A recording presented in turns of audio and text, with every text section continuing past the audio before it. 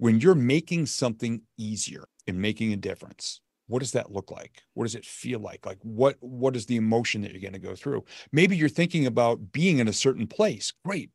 What what's the furniture in that place? What are the smells in that place? If it's a restaurant what's your favorite meal that you're going to eat when you're having this conversation and making things easier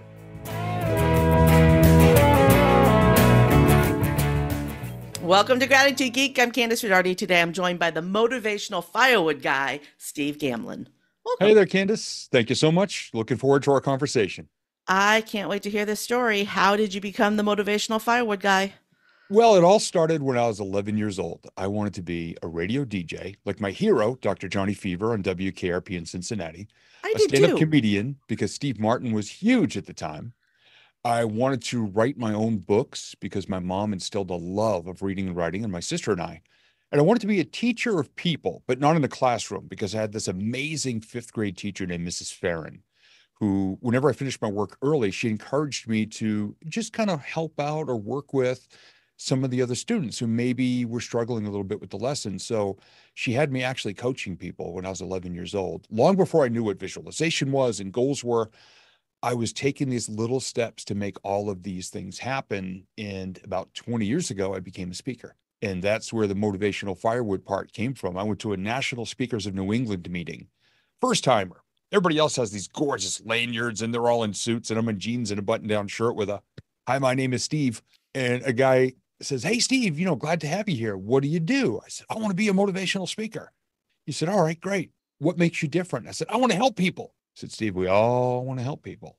I said, What makes you different? And God love him, patience of a saint. About three to five minutes later, I finally just out of ideas, I said, Look, Don, if somebody's coming to hear me speak, it means they've got some frustration in their life. They might have a spark of something pretty amazing, but they don't know what to do with it. If I share a story or a tip or a tactic or an example or something, and the next day they wake up and take that, do something with it, it's like I gave him a piece of motivational firewood. And he snapped his fingers and he goes, That is different, unique, and cool. He said, You know, the best part?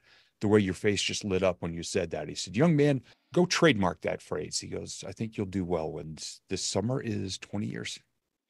I hope you've told him thank you. I have many times over the years. And every couple of years, when I have to renew the trademark, I send him a message and I say, another thousand bucks. Still the motivational firewood guy. So you've had a lot of mentors in your life.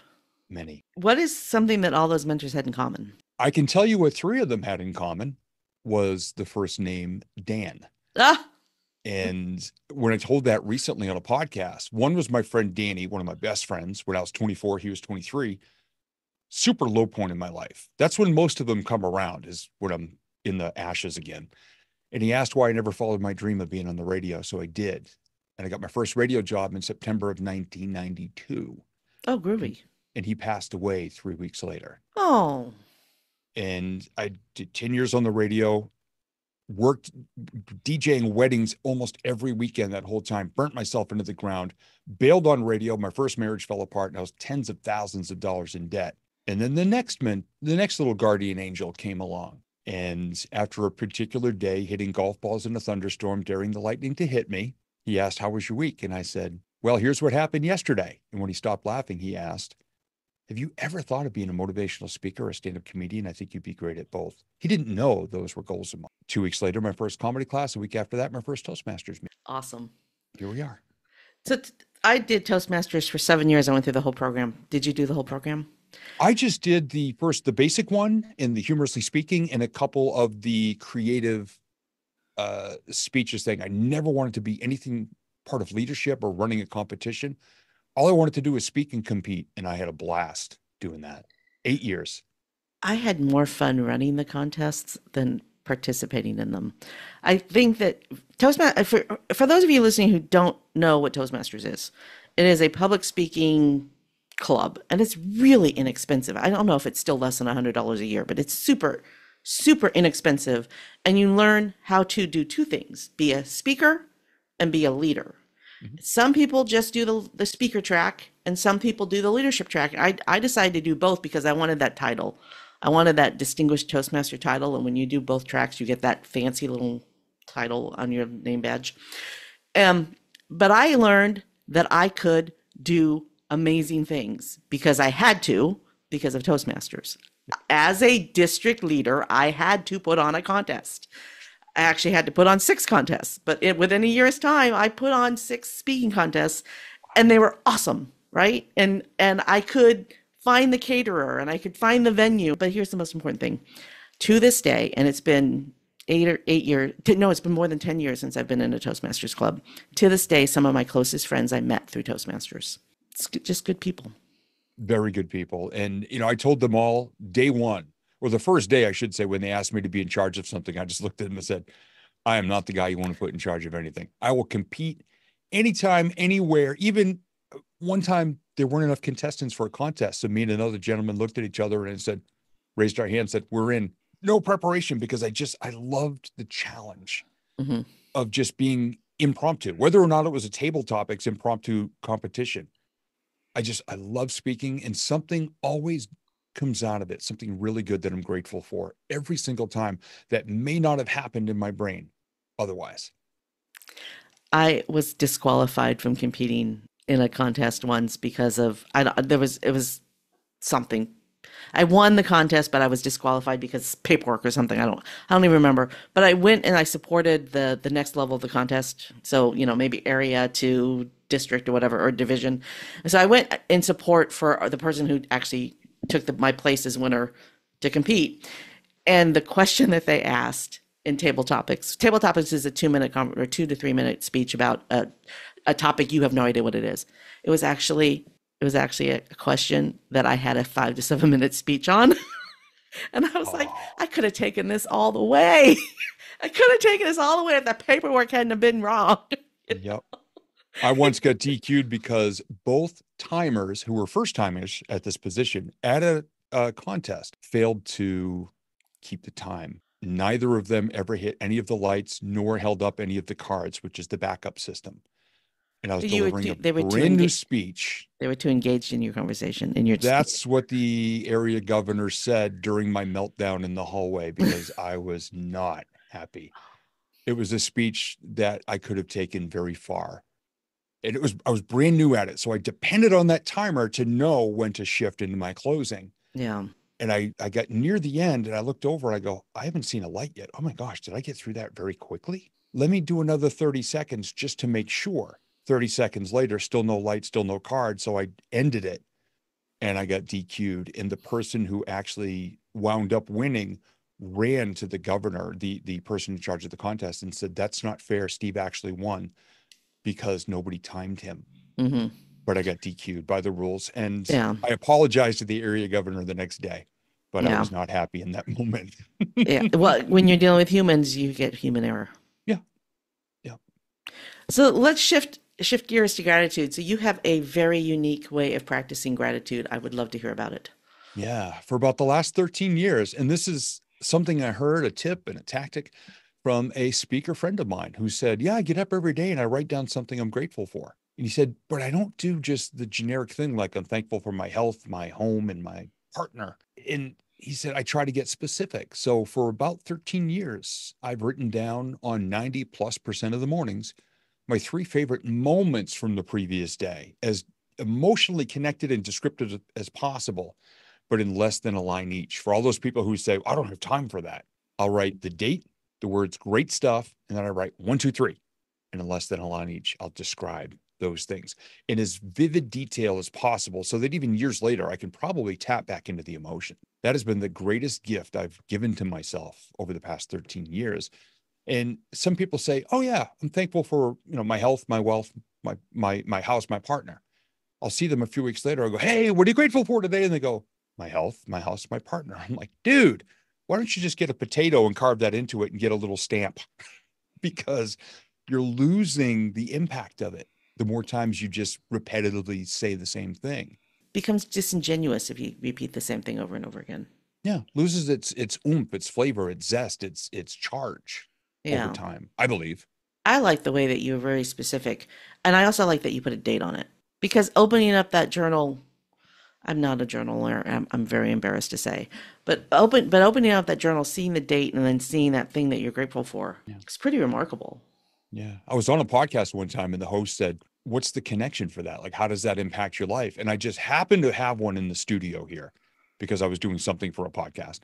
And I opened it up and I started laughing. It was an entry from at that point, seven or eight years prior, when my dad and I had rescued his plow truck from the local mechanic and got it home without getting pulled over by the cops because it was unregistered, uninspected, barely roadworthy.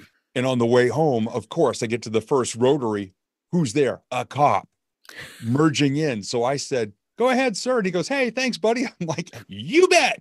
So the next morning I wrote down, got Nellie home. Nellie was the name of the plow truck, avoided the cop. And seven years later, I told that story. He goes, All that from one line. I said, It's the way I wrote it. It's yeah, you you were prompted for to remember the memory. And you know, that's a really if you have oh my gosh, if you have somebody who has a family history of dementia or Alzheimer's, knowing that and then keeping that really simple three line journal might help the person that has Alzheimer's or dementia hang on to some memories for a little bit longer.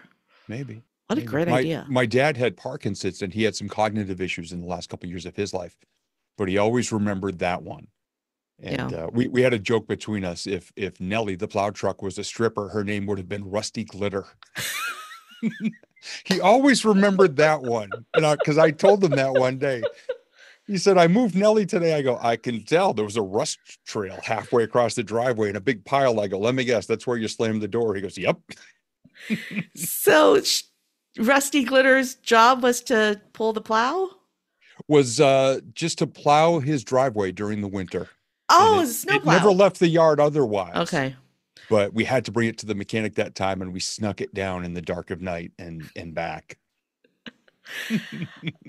There is, I live in Michigan and we have a gentleman that lives on the end of our alley. Living in an old house with an alley is, I just, I don't understand why houses aren't built this way anymore because having an alley is so glorious. I love, I love it. I don't have a driveway in the front of my house. I have an alley, you know?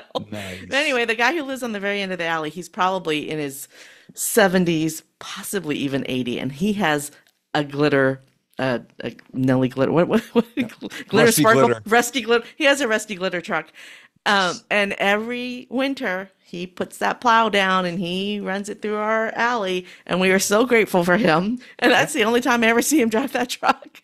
So, wow yeah. stuff like that is so cool i mean look at look at the reaction we're both having right now just talking about this and Oh, the yeah. emotions it brings Eh, the stuff's magic and most people they they just say I'm, I'm too busy to worry about that i mean I, I recorded my process one day with my journal 38 seconds to write down the date great Oh, stuff wow. and all three that's how long it took Okay. I have enough time to journal.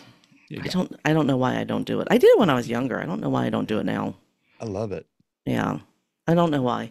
Uh, So I I have a gratitude practice that I need to re re-engage because it's one that's more in line with what I can actually this is self-talk. We can talk about self-talk here in a minute. I don't know why I don't have it set on my phone right now. I have a new phone, it might be that. But um my the alarm goes off on my phone and when it does, I say five things for which I'm grateful. It was at 12:34 every day, but it 12:34 is in the middle of the day and I was inevitably in a Zoom meeting when it went off. so I changed it to after work. But Yeah. I think I did it at 9:10 because at 9:10 there was I wasn't talking to anybody. When you have a practice that you just do every day, and yes, some days it's a uh, you had a great dinner. I, I got to talk to my friend, or you know, it, it, whatever it is that you f- say out loud that you're grateful for. It just you know, oh, today was a great day. Yeah. You know, Yeah. and there's a lot going on in the world right now. It's been the world has been in upheaval. This is the middle of July 2024. The world is in chaos right now. Yeah. But if you are grateful for what you have and your neighbor is grateful for what they have, the chaos isn't going to matter. Yeah.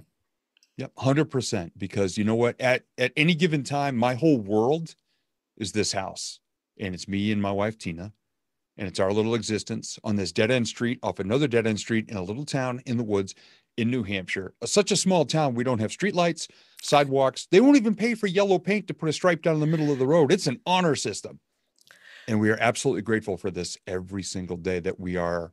We choose to not let all the chaos and the poison of the world crawl into our lives. We're aware of what's going on in the world, but we're not getting steamrolled by it every day because we choose to remain grateful for what we have and what we can control. And that's that's good enough. I want to talk about gratitude for not having the line in the middle of the road. We just had our streets repaved. They are the streets are about 150 years old, mm-hmm. and underneath the, the very bottom of the layer, when they tore everything up, was the original cobblestones or the you know the original brick floor, or and they tore it all up. Uh, and then they put down new new roads and they narrowed the road so it wasn't as wide and we were and then they didn't they you still can only park on one side of the road um, but they didn't replace the lines. They didn't replace no no listen listen. And the roads are narrower. So really when you have a car parked and then the and then you're driving there's really only enough room for one car. Mhm. and that means that people drive slower down this road now. And i am grateful for that. So I now understand the reasoning behind not putting the line in the middle of the road because the line would have messed up the flow of traffic. Because now people just wait. If there's cars parked on the other side, people just wait until the other cars, you know, they they are courteous to each other rather than trying to squeeze by each other because the wide, road was wide enough and there was a line. Yeah. Does that make sense? Oh, 100%. And and kudos to you for for seeing that little shining light in it.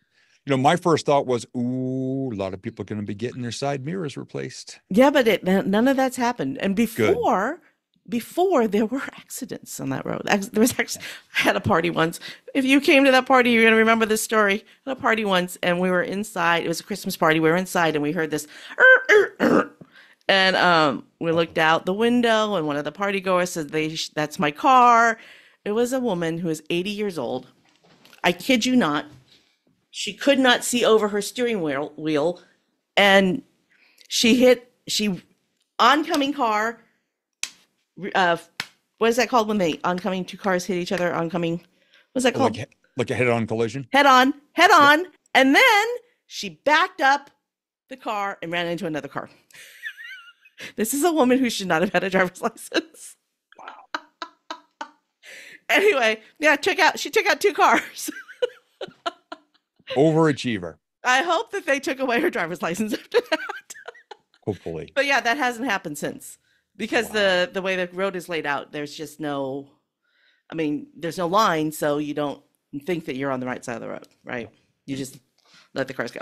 Yep. But yeah, that's finding gratitude in something as silly as the road in front of your house. Yeah. You yeah, know, absolutely. You know, and it's so easy and simple to do. And of course, then you get the people who really don't want to do it. So they start making excuses. Like Steve, you know, some days there's nothing to be grateful for. Said, that's "Well, okay, bullshit. That's your opinion. Yeah, I said, because we lost my dad on October 3rd of 2018 and on October 4th, I wrote down three of the easiest gratitudes I've ever had. Um, dad stayed alive long enough for me to get to the hospice. I was holding his hand when he passed and we were watching his favorite show. Of course, he was, you know, on another planet at that point with, Yeah. with meds and stuff for pain.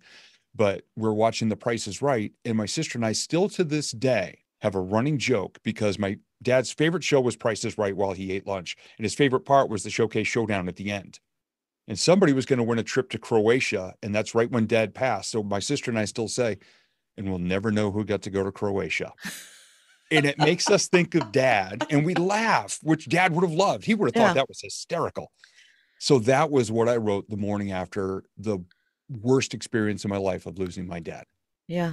I have so many moments of gratitude from when my mom passed away. Yeah. A lot of similar ones. My my the most profound memory though is being in the lead car of the processional and my sister says turn around and I turned around and I couldn't there wasn't I couldn't see the end of the cars. Oh, wow. And knowing how many lives my mom had impacted.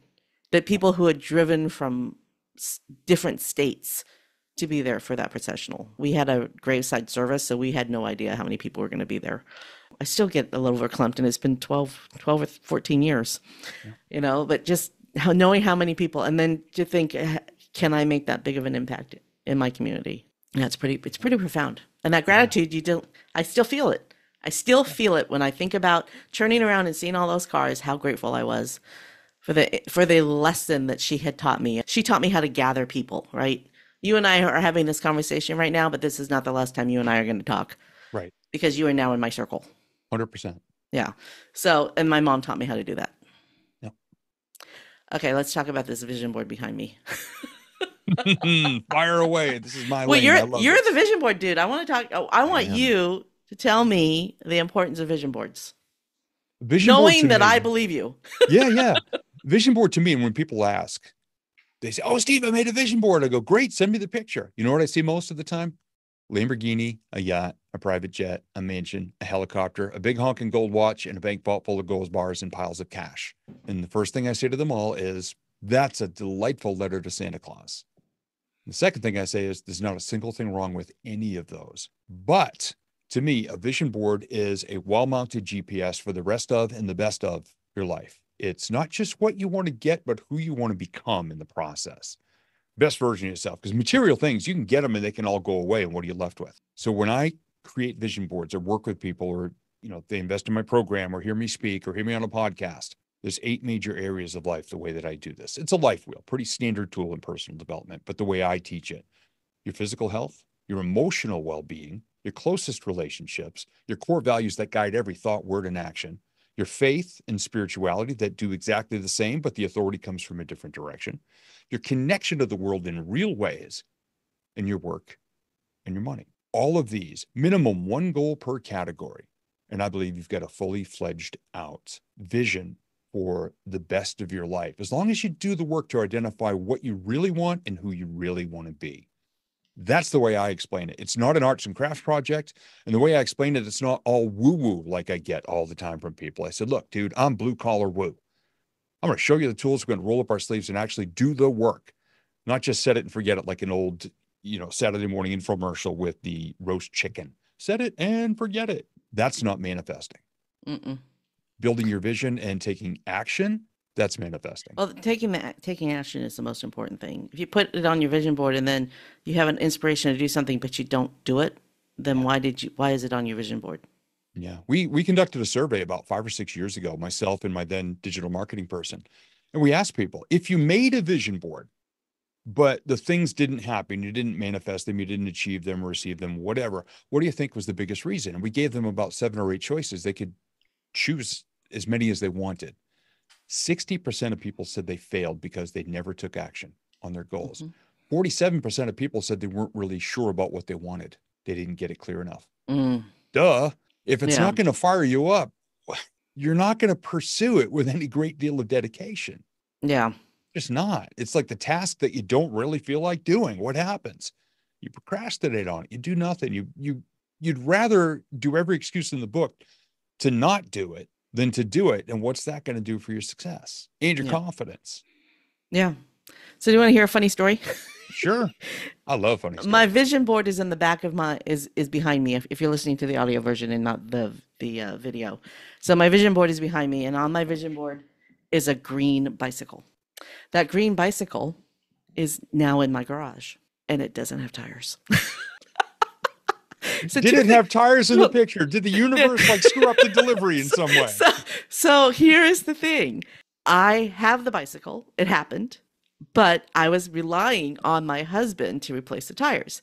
The tires are in our house. We have the Mhm. tires. They have not been placed on the bicycle. So I could take action and take it to a bike shop and have the tires put on there. And I'm taking responsibility for that right now. There you go. you know, because There some, you go. Because you can't rely on other people to make your dreams come true. Yeah. And I, I love my husband. Please do not take that wrong. But the putting the disclaimer rolling putting- across the screen. putting putting the tires on the bicycle is my priority, not his. Yeah. He has other things he's doing, right? Yeah. It's not, you know, it's a to him it's a nuisance to have that in, in the garage. For me, I just haven't. I should I should just take care of it myself. Yeah. And I'm sure it's not that hard to put the tires on the wheels. No, I could no. probably watch a video and figure it out. Yeah. I, I had a, a a mountain bike that I bought oh gosh, maybe 24 years ago. Uh, during at the tail end of my radio career, and I wanted to just get healthy and do a little riding. And I rode it a few times and it got a flat tire. And then I went through my divorce and all of that, and it wound up hanging in the garage at my dad's for 20 years. Mm, And I took it down recently and realized it needed two tubes. And I kept saying, well, I'm going to do it. I'm going to do it. It sat in our garage for a year. And I finally said, why am I going to go out and ride on unsafe roads here in our small town? Because people fly and there's no lines and curbs or anything. Yeah. One of my other goals since my very first vision board around 2005 is kindness.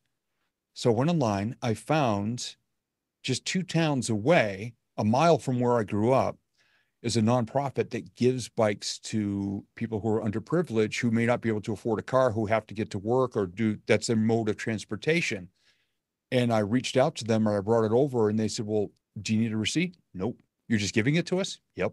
The guy goes, It's like brand new. I said, Well, yeah, because I haven't ridden it in 20 years. but I it hosed it off. It does need tubes. But it, yeah, Yeah. but uh, what was I going to do with it anyway? We have a Peloton cycle. I ride 3,000 miles a year on that. And this thing hasn't moved in 20 plus years. Yeah. So it just became all of a sudden I had this thing that I could be valuable to really achieve my goal, which is to be kind. Yeah. And, and do acts of kindness.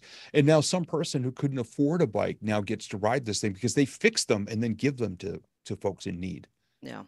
And So, what the, what. I wanted my bicycle for is I live in a community where I can bicycle anywhere if I wanted to. And I wanted the bicycle so that I could go to the farmer's market on Saturday, get vegetables, bike home instead of getting in the car. But I haven't needed to do that. I haven't needed to use the bicycle because we have two cars right now. You know, I'm not forced to do it. I need my daughter to take her and her car and leave so that I'm forced.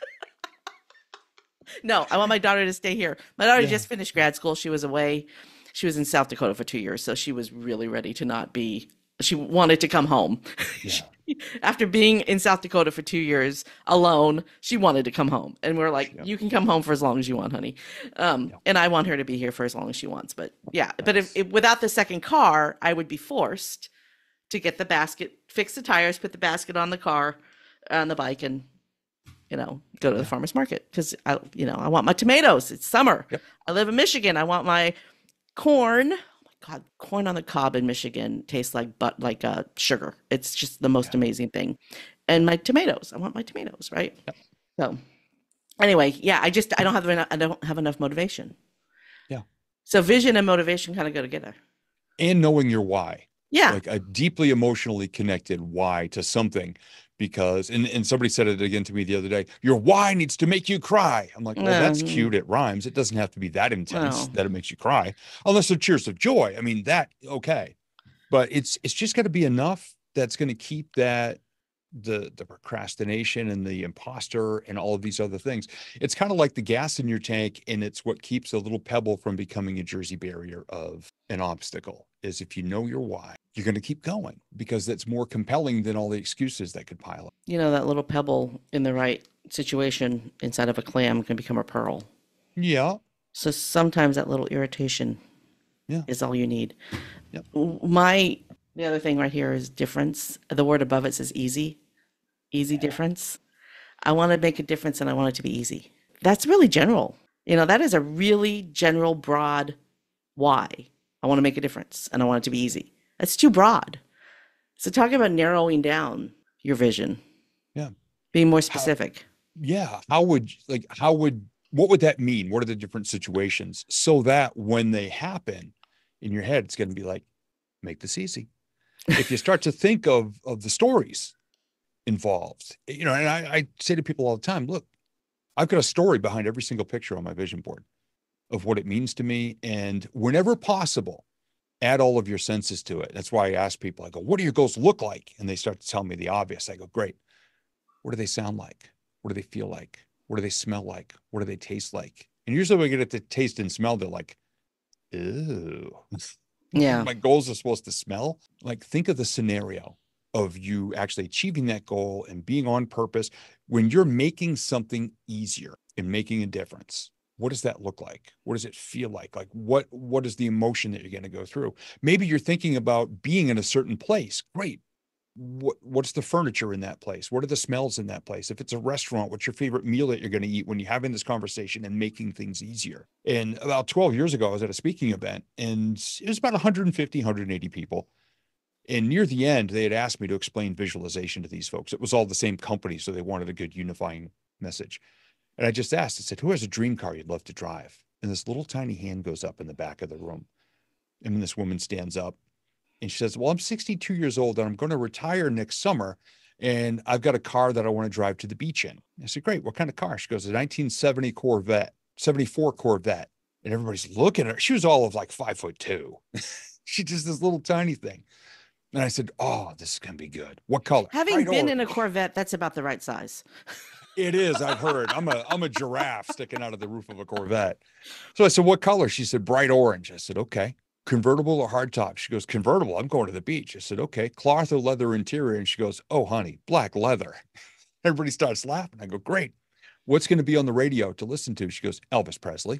I said, "Okay." When you get to the beach, what's your favorite place to eat? She goes, "Oh, Blink's Fried Dough, which is legendary here in New Hampshire, a place called Blink's."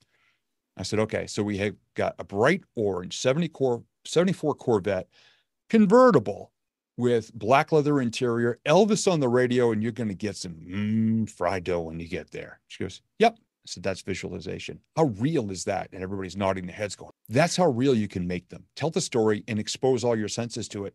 By the way, the sense of smell is our strongest sense attached to either a memory or a potential outcome. Mm-hmm. That's why it's really important for houses to have some sort of nice scent in them when you, or offices to have a nice scent in them when you Yeah. are trying to sell them, or customers like doctors' offices if they have a nice odor when you come in. It's not. Yeah. It's a nice thing because it sense you sense the sense of smell is intangible, Mhm. but it's ethereal. I have that condition. I don't know if it's a condition where I don't. I can't. You know, uh, when you visualize, do you see like a movie in your head? A lot of times it's still shots, but sometimes it's a movie and it's a situation. Yeah. So I I don't see images in my head. Mhm. I, it's called anaphasia or something like that, Yep. and it's a, it's. Is that the right word? Do you know you know what I'm talking about though? I believe it is. And I've I've spoken with people who've got that uh, condition in the past. Yes. so my my I'm it's a family thing. My cousins, my aunt, we I mean a lot of us have it, but I can visualize. I can I can do exactly everything you do you just said, and it comes down to scent, feel, salt water. I mean, I I don't see it, but I can emotionally, I guess, be in tune with it, right? Yeah. I mean, even if you think you can't visualize, you can if you really put your mind to it. Yeah. Yeah. And if you're really struggling with it, I what I've done is is bounce it off the wall a slightly different way. I'll ask people, I said, what's your favorite memory of this? What's your favorite vehicle you've ever owned? What's your favorite vacation you ever went on? What's your favorite relationship you've ever been a part of? And they start to describe it. And then I said, okay, start to use use those words. If you can't come up with the picture, use the words. My vision boards are a blend of both words, catchphrases, mantras, hashtags, along with the pictures hmm that I use. So they were kind of reliving the past, picking out the nuggets of gold and using those to set up the next level that they wanted to enjoy success for. And even if they couldn't see the picture, they could feel the emotions and then they could go looking online or people, I don't think they use magazines anymore. I just look online for things. I said, go online and do a search for something like that based on what you described and just see one that, you know, trips your imagination or, or makes you feel an emotion and just start there. It's not saying that's going to be the end all be all, but it could get you from the ground level halfway up the first hill of that old wooden roller coaster, at least get Mhm. you started to get closer to your goals. hmm When I was 18, 18 years old, I bought a Volkswagen Rabbit convertible. It was 10 years old. I lived on the central coast of California, right on the coastline, and I was going to night school in college. And I would throw the top back on that car, put on the radio. I would drive down the shore, you know, the shoreline, the the the breeze, the salt air from the the uh the bay would just like overcome me. So I'd be, you know, the salt air, the smell, the the feeling of the air whooshing around me, and the music on the radio. Inevitably, it's "In Your Eyes" by Peter Gabriel. When I hear that song, I am immediately transported to being 19 years old, driving that car down Highway One in Monterey, California.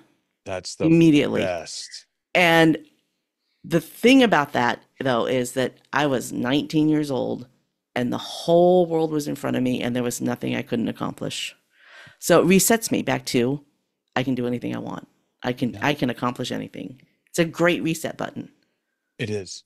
It is. And and music is so good for that. I've I've been in my mom said I could I knew music before I knew anything else. And no wonder I became a DJ and and you know a, a hobby drummer. And I'm now in my second recording studio because I was so in tune with the power of music. I mean, everything I do all day long, there's something playing in the background, whether it's my favorite classic rock, or the Calm app on my phone, which I think they should have just called the Calm the Heck Down app. Mm. But that URL may not have been available. So, but I, li- I listen to music or, or sound uh, quite often because it puts me in a really good place. Yeah, the, my favorite thing is on Spotify. There is a um, lo-fi hip hop channel, Oh, and I just put it real low. Yeah. It- It's it's lo-fi hip hop, so it's not hip hop. It's just the beats, right?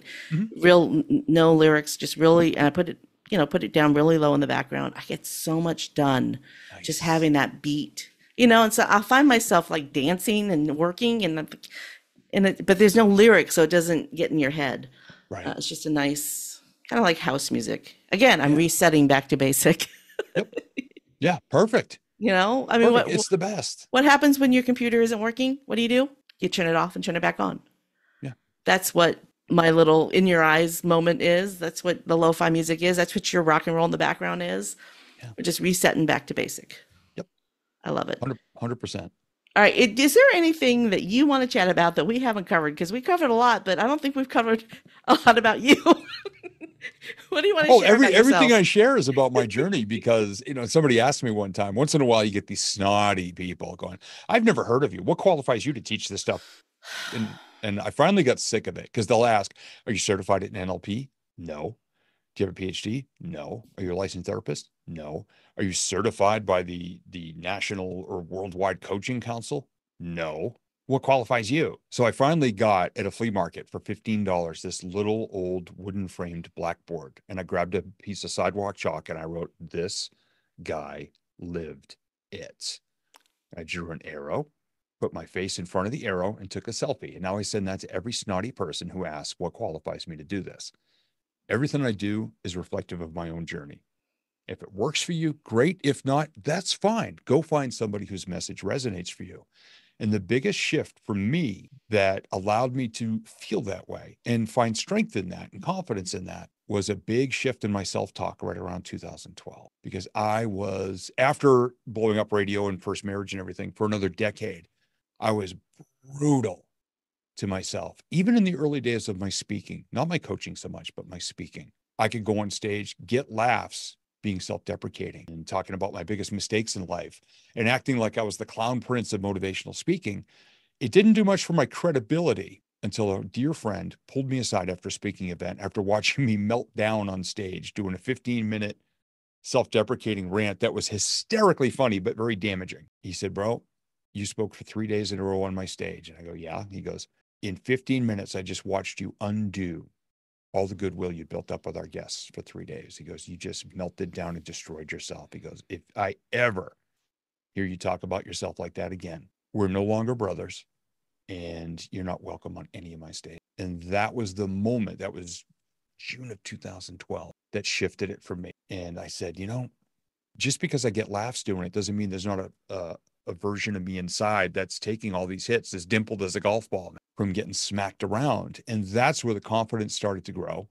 That's where my reputation started to grow. That's where my business got bigger.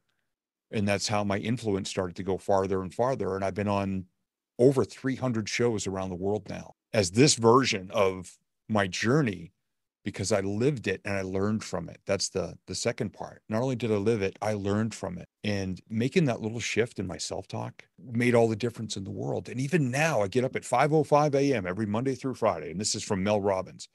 First thing within 5 seconds, the 5 second rule. I turn off my alarm within 5 beeps. I go five, four, three, two, one. Both feet on the floor. Hit the bathroom mirror, turn all the lights on. First thing I do is a huge high five. That's her other one, the high five habit.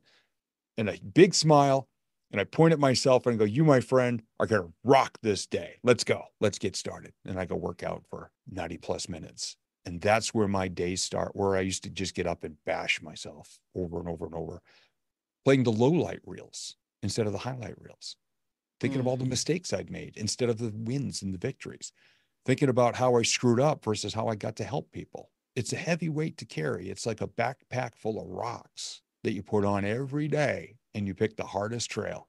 Mhm. So a big thing for me is just be mindful of your self-talk. It doesn't mean you have to go, "Hey, I'm awesome." It just means you recognize some goodness about yourself and the fact that you're a work in progress. And you cheer yourself on versus tear yourself down. It's a big, big. Well, you said something important. You have rocks in your backpack. You know, so many people just think they have to carry around that backpack with those rocks in it. They think they have to carry the rocks. It's so much easier to take the rocks out of the bag. Yep. And then there's room for then there's room for good stuff. When there's rocks in the bag, there's not enough room for your water and your food. Mm, You know, Yeah. or your sleeping bag. You know, you need to eat, you need to drink, you need to sleep. Take the rocks out of your bag and make room for it. Yep. You know, wow, what a great, what a great way to end. All right. so, how do people get a hold of you? I don't normally and ask. easy. I don't normally ask people that question because I put it in the show notes, but you get it on this. You get it today. Well, thank you. I appreciate that. Uh, my website is stevegamlin.com, G A M L I N, and you can find me across social media under my name as well. Uh, mostly I'm on Facebook and LinkedIn, but I do some stuff on Instagram as well. So if anybody would like to find me there, if they have a question, fire away. I love connecting with people and just having conversations. I, I want to talk to you about that social media for a minute. Do you, why why did you why do you have a preferred platform? What appeals to you? You said LinkedIn. Yep. Sorry. Uh, I love a lot of my a lot of the people that I regard very highly in my industry are on LinkedIn, and I love to chip in my opinion or an answer or cheering them on. And I just find a lot more realness on LinkedIn versus a lot of the fake stuff on Facebook and Instagram of people just putting up that that Kardashian lifestyle of theirs. It's a lot of fake stuff there, but for I'm 56 years old, and a lot of the people I work with are between 35 and 60, and many of them are on Facebook. So it's it's still a pretty rich audience for me. But I go there and I just be as real as possible, and I get some pretty good engagement. I've noticed that Facebook is for friendships, LinkedIn is for colleagues. I recently reconnected with this. I'm really excited because he's going to be a guest in the future on the show. I reconnected with the CEO of the company I worked for 30 something years ago. And I tell stories about him on this show a lot because I learned a lot from him. And I can't wait to be able to tell him the stories that I've been telling my audience about him. and he probably won't even remember them. Yeah. Uh, but I, if, without LinkedIn, I wouldn't have been able to reconnect with him because he's he's definitely not on Facebook. A few know. years ago, I reconnected with that teacher from fifth grade who had all that impact on me, and I happened to see her name as a friend of a friend, and I reached out and I said, "Is this the Mrs. Farron?" Who taught at Highland Gosfall School in 1979? And within three minutes, she answered back, I always wondered what happened to you. Well, And I typed back in a good way, right? She says, yes, and a big laugh emoji. And I, I got to tell her how much she continues to mean to me all these years later. isn't that remar- remarkable? I, I had a similar situation where um, I am Facebook friends with several of my high school teachers, Mhm. um, but one of them I'm not Facebook friends with, but I saw that he was a friend of a friend. And this was the particular teacher that is the reason why I got A's in college. He taught me how to write an essay. When you know how to write an essay, it doesn't matter what else you do. And so I wanted to tell him. And I and I I didn't even send him a friend request. I just inboxed him and said I just wanted to say, say thank you for teaching me how to write an essay because of you. I just everything I just said. And uh, I think I made his day. Yeah. you know. yeah. So if you ever see a teacher on Facebook or in, or LinkedIn, tell them what the impact they had on you is uh, was because you know teachers teach hundreds of students, and sometimes if I'm sure that they go home some days and they're like, "Why am I doing this?" You know, and all these years later, I hope they realize what a big impact they made on me and you. I mean, they I hope they do. They still do.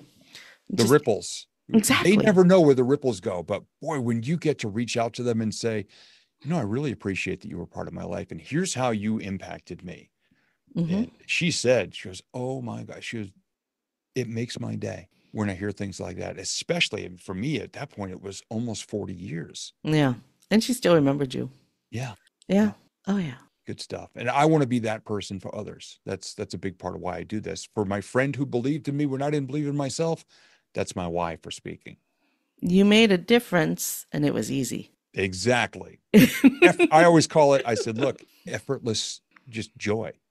yeah. for me. It's it's so hardwired that I just want to leave plus signs behind me all day, every day. And here's the best part: I own the factory. I'm never going to run out of positivity if I choose not to. Yeah. Some people think that, you have to like pay for somebody else's meal or but opening a door, smiling, letting somebody in in front of you. You know, uh, there's so many ways that you can just do something kind, and it it isn't going to take you any longer than it would have taken you to do the thing you were doing anyway. Yeah. And sometimes it might just you know hurt a little to make your smile go up instead of down, but you know, Yeah. use those smile muscles. Get it done. I play shopping cart rodeo whenever I go to the grocery store. My wife knows I'm not going to go right from the car to the store. I'm going to look out for a cart that was abandoned. And I'm not going to get torqued up that someone left it there and they were lazy. That doesn't even cross my mind. I just know somebody needed it to get that far. And I've I've met people who were you could just tell terminally ill hmm and they were using that just to be able to stay standing. Yep. And I will always ask from a safe distance, excuse me, would you like me to return that for you? It's never been refused. I've always gotten a smile and a thank you, which I don't need. But I'll just say, you know what? I hope you have a great day. By the way, take your purse out before I get there because see all these cameras? I don't want it to capture you beating me up for trying to steal your purse. You're tiny and I'm big, and that would be embarrassing. and they're laughing. And I walk away and I always look up and I go, Yep, that that that little guardian angel that person was the guardian angel because i they made my day better Do you have Aldi in in New Hampshire? The Aldi grocery stores? Aldi. that's where we do our shopping for our nonprofit for local um, homeless shelters and food pantries because they have the most affordable prices It just it's so amazing. Like if I just wait a little bit for the person to finish unloading the car and I just hand them a quarter and take their cart. At Yes. Aldi you pay a quarter for your cart. Yep. Right. And that way it incentivizes you to take your cart back instead of leaving it in the in the parking lot. Yeah. But just the look on their face that they don't have to walk, especially when it's snowing, that they don't have to walk back the cart back to get their quarter back. They just it's just Mm-hmm. that little thing. And inevitably every time it happens, the person just looks relieved Yeah. you know it doesn't take it took me you know i waited 30 seconds for the cart Yeah. you know it doesn't take a lot of effort Yeah. so we Anyway. never know yeah ripples Yep. ripples all right steve gamlin this is your moment of gratitude. For whom or what are you most grateful? I am most grateful today for my sister who knew that i had a, a hip injury and a couple of months ago she got me a gift certificate for a local place that does physical therapy and stretching and i went there yesterday and it was phenomenal. So that was in this morning's gratitude journal. Thanks for tuning in to gratitude geek the podcast for grateful micropreneurs building genuine lasting relationships with clients colleagues and community our theme music is track 14 by rev brock and soul lily to connect with Steve Gamlin, head over to the show notes at gratitudegeek.com. This is episode 238. I've been your host, Kandas Rodarte. Stay groovy, my friends. stay groovy my friends